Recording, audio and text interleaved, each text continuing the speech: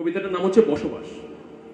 মাথার উপর আপনাদের এখানে যেমন ঘর হয়, সেরকম আমি যে রাজ্যের বাসিন্দা ত্রিপুরায়, সেখানে ছন হয়, এক ধরনের ছন ঘাস হয়, সেটা দিয়ে ঘর ছাওয়ানো হয়।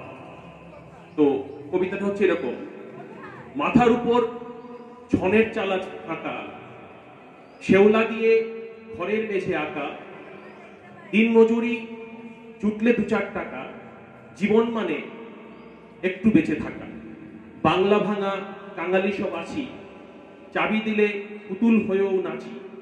হচ্ছে, সবাই বলছে, মিটিং ইটিং চলছে, কাঁচকলা সব খুলছে আর ভেতর পুড়ে চলছে তবুও জাগবো, থাকব আর বাঁচবো বলেই আছি, মাটির কাছাকাছি।